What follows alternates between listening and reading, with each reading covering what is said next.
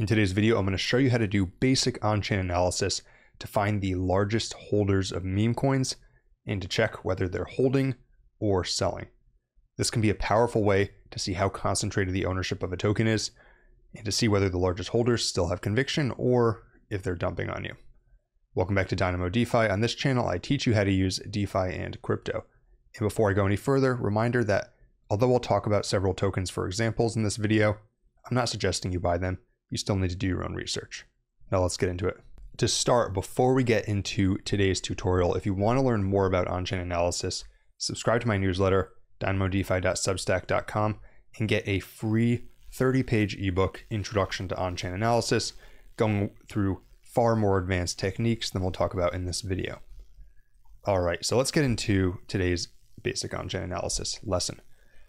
The main website we're going to use for this today is Dex Screener. Dex Screener, if you've been trading meme coins, trading tokens on chain, good chance you've used it. And to actually find tokens that we're going to look at, we're going to use Pump.fun. And for this video, I'm just going to do the largest tokens by market cap. I'm not going to go into anything that's too small. And for examples on this, I'm going to use two tokens that have been trending recently and are also large. One is Moodang, everyone's favorite baby hippo, and the other is going to be Sigma. So we're going to look at Moodang and we're going to look at Sigma. And first thing you'll need from this page is this field labeled as CA that stands for contract address. Now, good lesson. Anytime you're searching for a token in crypto, never want to type in the ticker. Why? Because because tickers don't have to be unique. There are dozens, if not hundreds, of tokens named Moodang, and that's how people end up buying scams. But the contract address has to be unique. So you can copy the contract address and instead of searching for the token, search for that. All right, so I copied it. Now I'm going to go over to Dex Screener and I'm going to paste in this contract address to search for it. And you can see that Mudang is coming up, and the reason there's multiple, it's just different liquidity pools for the same token. All right, so now we have our Mudang chart, and we have some more information about Mudang here in the bottom, and this is really what we're going to focus on. You see all the transactions, you see the top traders. We're not going to focus on that in this video, but this can be a really powerful way to find smart money wallets. I have another video about this top traders section that I'll link down below. And then we have this holders section. So we can see Mudang has 54,000 holders. And what this shows us here is the concentration of the token. So in this case, the largest wallet has almost 4%. The next largest wallet has over 2% and so on, so forth. So, although this isn't egregious, further investigation may be warranted for this top few wallets because 4%, for example, is a fairly high amount of tokens for one person to have, and it could present a future risk to the token price, especially when you consider that this person has more tokens than this entire liquidity pool, which is one of the major liquidity pools. But sometimes, for example, you'll see tokens where someone has 20, 30, 40%. And to me, that's a major red flag. So once you've taken a look at this, uh, the next thing you may want to do to investigate further is you can click on this bubble maps section. And what this is going to do is this is going to show you connections between these wallets. You can see the tokens that it looks for connections on, or you can click on all and search for connections by any token. And here, for example, we see that wallet number one and wallet number six have a connection. Wallet number six is labeled as Wintermute, which is a market maker. Wallet number one, I'm guessing it's, it's an exchange. We'd have to investigate further, see it's labeled as high transfer volume. But this can just show you that there's some kind of connections between these wallets.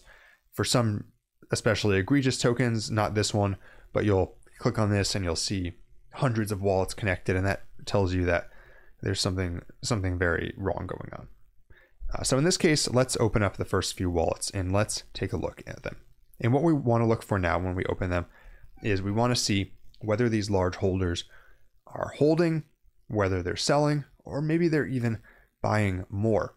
Because by determining that, you can prevent yourself from getting dumped on, right? You hear these stories about influencers, they're telling you the price is going to go up another 10x, and then they're secretly selling behind the scenes. Well, in this case, you can be the on chain investigator and you can actually tell whether these large wallets are selling or not. So this largest one, like we suspected, it is labeled as Gate.io. It's an exchange. That's not really going to be that helpful for us here. And by the way, another way to tell that it's an exchange is if you click on transfers and you see 3 million transfers. Yeah, that's not an individual. What about the number two wallet? It's got 2,500 transfers. Uh, it's a little bit more iffy. This could totally be a real person, right? I mean, I've got wallets with tons of transfers. Uh, looks like it's got some token swaps. So uh, let's investigate. Is this person buying or selling? So to filter down to Moodang, what we're going to want to do is search for Moodang here. And remember, you don't want to type in the token name. Good rule of thumb, always copy the contract address. We can copy it from Dex Screener by scrolling down on the right and clicking on it, or we could go back to pump.fun. I'm just going to copy the Dex Screener one. I'm going to go back to this address and I'm going to paste in that same address here. And you can see that it pulls up Moodang. It's a great thing about contract addresses. They're, they work on all these different platforms. So here we can see there have been actually a lot of activity. So this makes me wonder, I don't know if this is a bot or something, right? That's a little bit more than you would expect normally. This person has many swaps for Moodang though. And interestingly, they are all buys. Maybe it's some sort of uh, automatic DCA function, but they're only buying, right? Not bad. This person is even three hours before I made this video. They bought another 62 SOL worth of Moodang. By the way, if this is your wallet and you're watching, thank you for letting us use it as an example. And so what you may want to do now as you go through your research is for a token that you're holding, that you're tracking, you may want to find a few of the top wallets and check back periodically to see whether they're buying or selling, or maybe even use a third party service to set up some sort of alert. All right, so now let's look at Sigma. Again, we're going to copy the contract address. We're going to go to Dex Screener. We'll paste in the contract address, and we are going to check out Sigma. All right, so holders, there's fewer holders on this, but still nearly 10,000. Concentration looks a little bit more decentralized, but you still have a few wallets to pay attention to. Over 2% on this one. Bubble maps, if we click on this, then we see there's no connections. All right, so what we're going to do now is we're going to open a few more of these wallets and we're going to check out are these people buying or selling? All right, so here is the first one 19,000 transfers. I'm going to say probably not a real person. 2,600 transfers. Could be real. It's a little bit iffy. let's look at their DeFi activity. You can see they are doing some token swaps. All right, so let's take a look on whether this wallet, it's this number two wallet, whether they are buying or selling. Once again, I'm going to copy the contract address I'm going to paste it in here to search. I'll select Sigma. And we find 130 activities. Let me zoom out. All right, so we see that this person has sold 11 days ago. They were selling their Sigma, uh, but they started to buy back in eight days ago.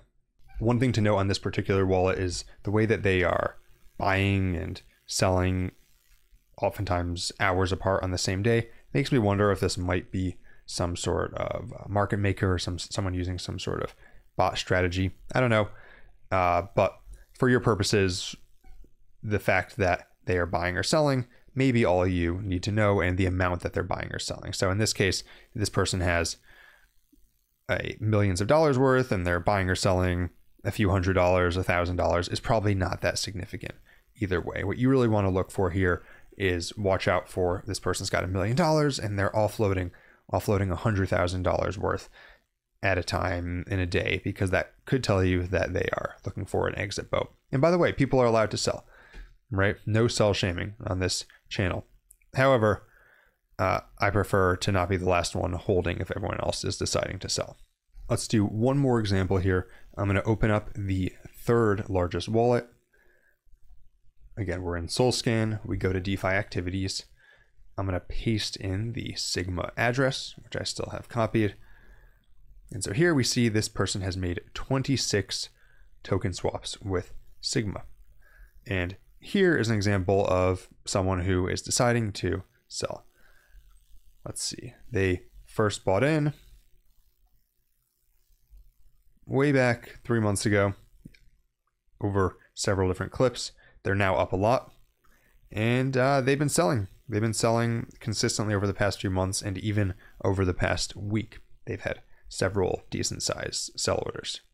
If you want to learn more about on chain analysis, again, sign up for my email newsletter, link in the description, and your introductory email will include a link to this ebook 30 pages introduction to on chain analysis. Let me know down in the comments some on chain analysis techniques that you like to use. For more videos like this, be sure to like and subscribe. And until next time, this is Dynamo DeFi.